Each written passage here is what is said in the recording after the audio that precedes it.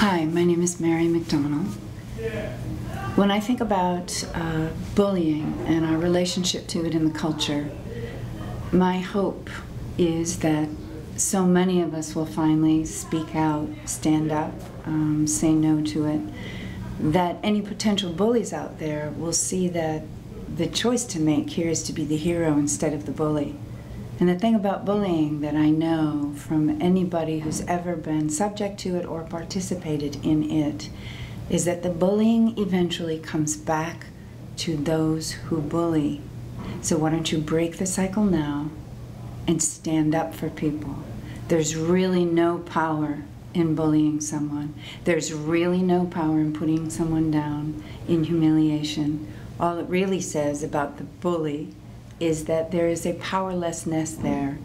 And I really don't think that most young people in America want to cultivate in themselves a feeling of having no power.